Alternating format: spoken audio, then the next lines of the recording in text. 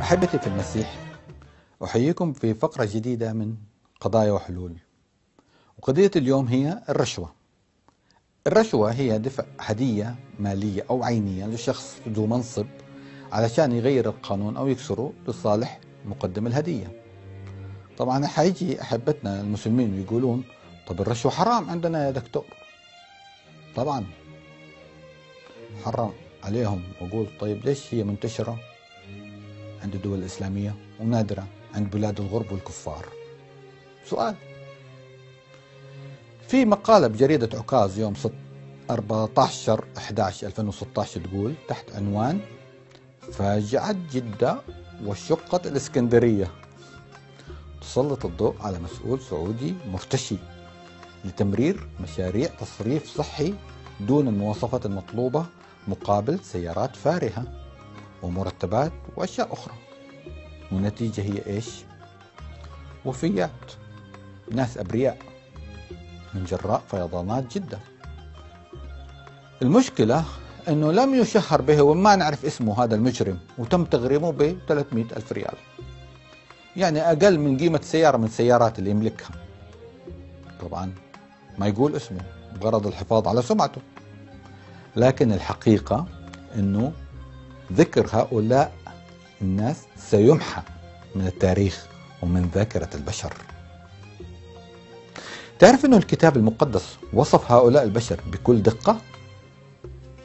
اسمع الآية التالية تقول رؤساؤها يقضون بالرشوة وكهنتها يعلمون بالأجرة وأنبياءهم يعرفون بالفضة وهم يتوكلون على الرب قائلين أليس الرب في وسطنا؟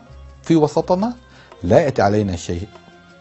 ميخا 3 11 تماما مثل ما يقولون هذه الأيام مش حنا عايشين في بلاد الحرمين. ما يجينا شر. ويبررون لأنفسهم الرشوة ويقولون الرسول قبل الهدية. شفت كيف تعاليم الإسلام؟ مثل الشرك أو الطعم تجر رجلك للرشوة والرذيلة بشكل غير مباشر. وبعدين تتعاقب. ليش؟ علشان تفضل تحت السيطرة. طيب طبعا هناك الكثير من الآيات التي تحرم الرشوة في كتابنا المقدس. وهناك وعد من الرب لكل من يرفض إيش؟ الرشوة. إيش هو هذا الوعد؟ اسمع كلام الرب وهو يقول لك أنت السالك بالحق والمتكلم بالاستقامة الرازل مكسب المظالم النافض يديه من قبض الرشوة.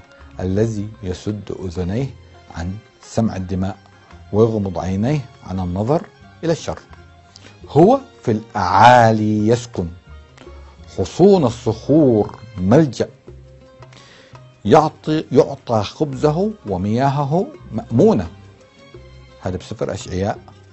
الآيات إصحاح 33 الآيات 15 و16 فتعالوا جميعا ونكون روح واحدة. ونرفض هذه الأمور الشريرة ونرفض الرشوة. والرب يبارك كل من يسمع أقوال كلام الرب يطبقها في حياته. آمين.